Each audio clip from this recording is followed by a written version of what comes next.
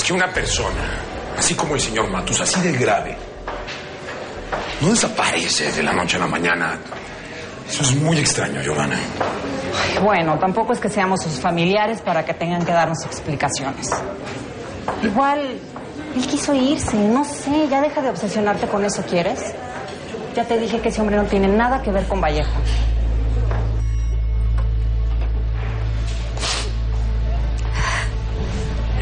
No seguir así.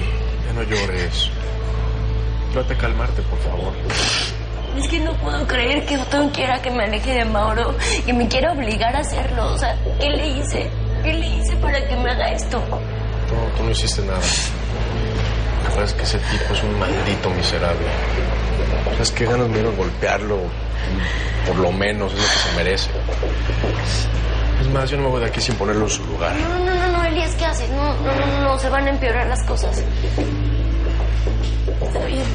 Tienes razón, no es forma de arreglar las cosas. Y bueno, ya sabes qué es lo que vas a hacer. No tengo ni idea de qué le voy a decir a Mauro ni, ni cómo voy a lograr alejarme de él.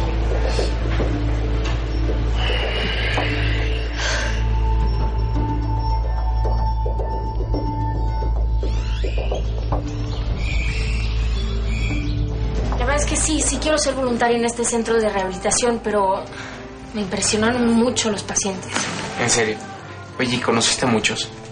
No, a muchos no, pero lo suficiente para saber que tal vez yo no les pueda ayudar en nada, ¿sabes? Lo importante es que ya diste el primer paso y que ya no vas a estar encerrada en la casa.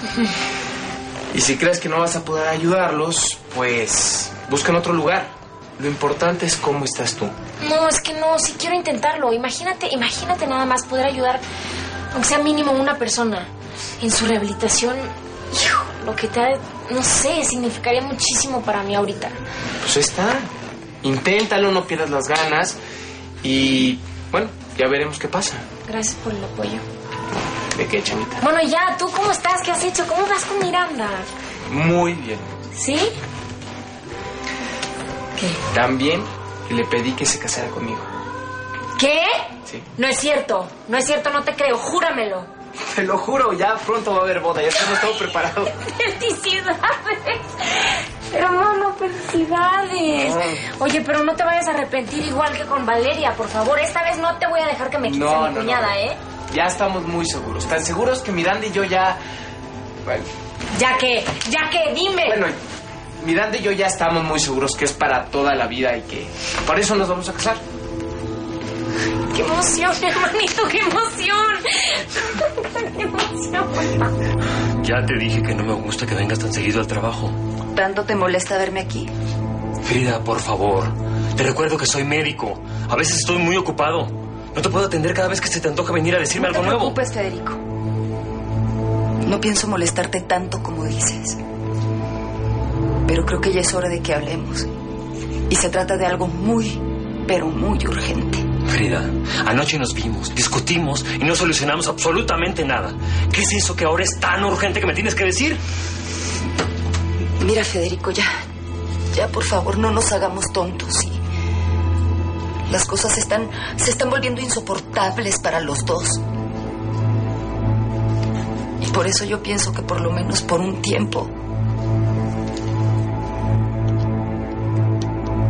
Tú y yo debemos separarnos.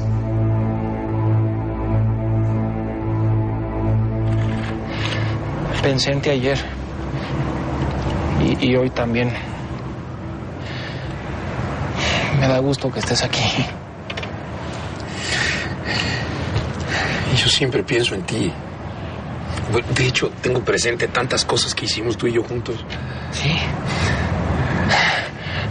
Yo, yo también. ¿En serio? ¿En serio? Entonces eso quiere decir que te acuerdas... ¿Te acuerdas de algo de Monterrey, por ejemplo? No, no, no, no, no me acuerdo de nada. Y, y Flora, ¿por qué no vino a visitarme?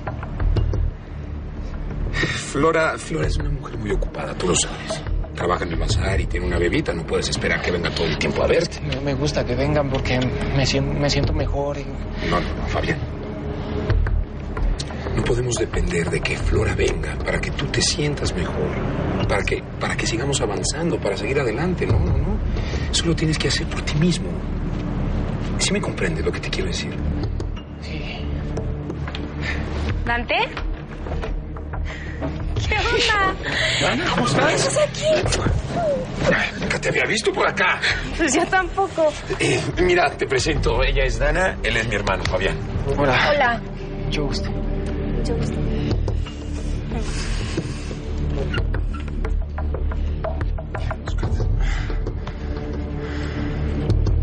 Bueno, y cuando le conté a Dana que nos íbamos a casar, se puso feliz, lo hubieras visto. Me empezó a preguntar por los vestidos, por el día.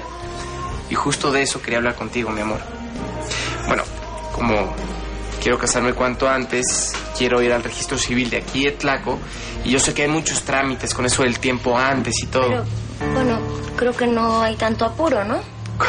¿Cómo que no, mi amor? Claro que hay apuro, por lo menos de mi parte. Ya quiero estar contigo todo el día, mi amor, todo el tiempo. Sí, sí.